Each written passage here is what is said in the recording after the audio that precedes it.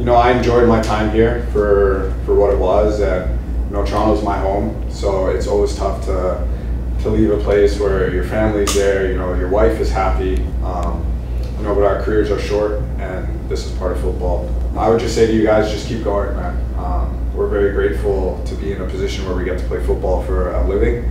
Um, and just keep working hard and enjoy it. But uh, I'll be rooting for you guys from afar. Um, I just thank you guys for everything. It was it was an enjoyable time for me.